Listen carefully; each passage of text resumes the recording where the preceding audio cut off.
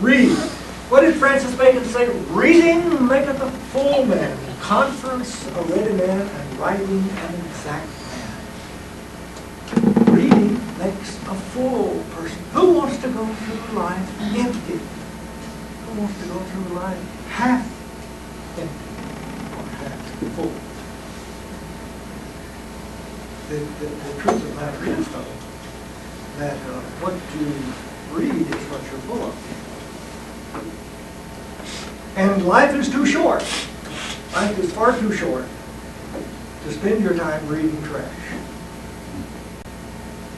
Um, there are too many good books in the world to spend your time reading the not so good books. I have I, I have a number of books that I plan to read, and I just started on two, and I kind of alternate between them. Um, when I retired in 1995, I, I said, I want to spend more time reading biography. And so I, when I get through with this set, I'm going to subscribe to the, uh, uh, the set that Easton's putting out on great lives.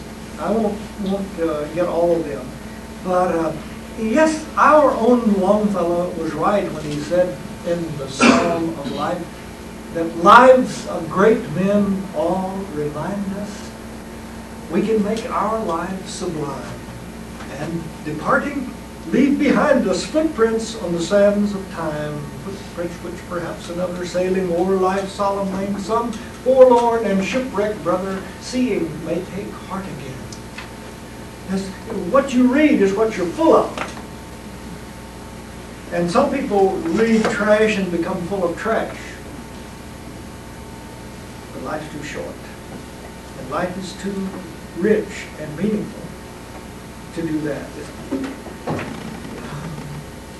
yes, Polonius asked Hamlet, you remember, he saw Hamlet reading, he said, what do you read, my lord? And Hamlet, in his miserable, mocking way, which Polonius was deserving of, said, Words, words, words.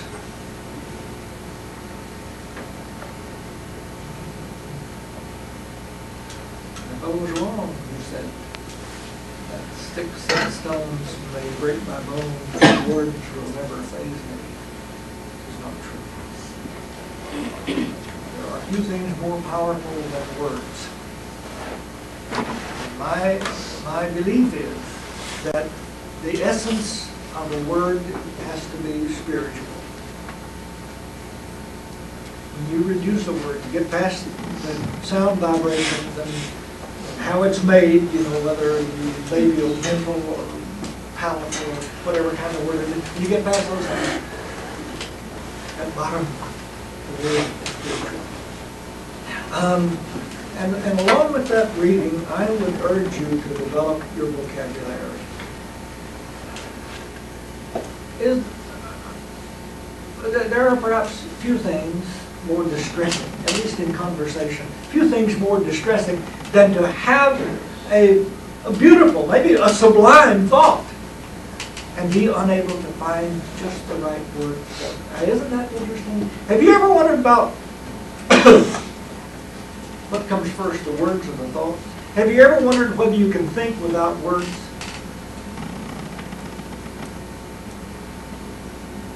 Well, on the one hand, you would think, yeah, I can think without words. But then you say, then somebody says, well, if you think can think without words, what do you think in? If you don't think in words, what do you think in? Well, yeah. But then somebody said, well, but haven't you said, wait, I've got this thought, let me find the words to put it in. It sounds like thought precede words. And what I'm saying there is, you see this stool? I don't, I, I don't know that stool standing here. Oh, I know it's a stool. But I don't really know that stool when I stand here. Before I can say I know that stool, I've got to see it from all sides, right? From all angles. Now, truth is a lot like that. And life is a lot like that. And that's why, incidentally, that's how schools of thought, whether it's literary criticism or whatever, that's how schools of thought develop, is people look at something and stand still. They don't see the whole. So, you know, um, as you, as you read and as you converse with people, you are developing a vocabulary. And you ought to not be content with anything less than the best vocabulary you can develop. I remember when I was sixth grade or something like that, that I had this old worn out, the covers were gone, dictionary that I kept at my desk. And every time in my reading or when the teacher was speaking that I heard a word or saw a word I didn't know, not know what it meant, I would look it up. And I, met, I made that a practice. That, that was the beginning of a practice that I've continued to this very day. And, you know, there's, there are so many good words in English, what is it,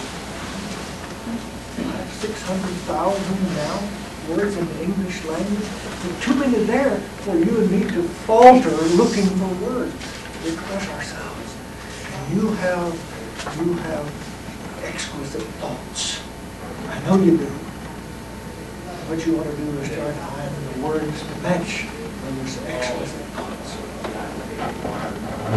So read, read, and read.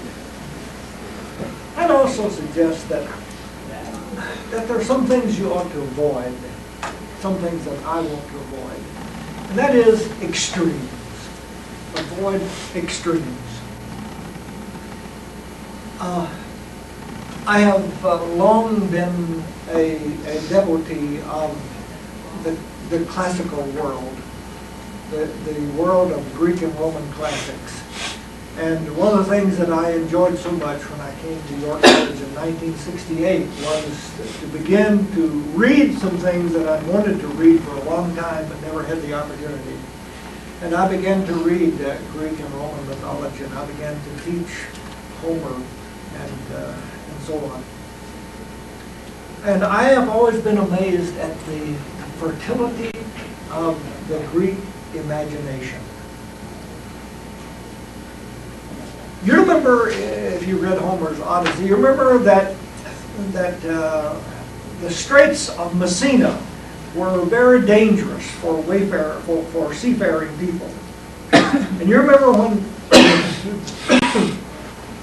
Odysseus his companions sailed through the Straits of Messina, they knew that there was danger there because on the one hand, there was a many-headed monster called the Scylla, and on the other hand, there was this swirling whirlpool called the Charybdis. Hmm. Well, the, the, the, the, the care with which sailors had to go through that meant that they had to go straight through, not veer off to the right or to the left, because if they went off to the one hand, the many-headed monster, sure enough, it happened to Odysseus and his companions that the monster reached out and swallowed some of his men and uh, then they got too far on the other side, and sure enough, they went down uh, the pool and uh, shipwrecked. Finally, Odysseus was the only one who was uh, washed ashore.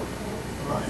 Now, now, why did the Greeks develop this notion of the Scylla and the Charybdis? Well, it seems to me that they were illustrating what uh, later Aristotle came to enunciate as the golden mean. And the golden mean simply uh, says nothing to excess. Have you noticed already in, in your assessment of life, have you noticed already how easy it is for a virtue to become a vice? And why does a virtue become a vice? Because the golden mean is not observed. I think the golden mean runs like a golden thread all the way through the Bible. And you can study uh, history of Israel, you can study uh, the biography of various individuals, and, and, you will see it illustrated. Uh,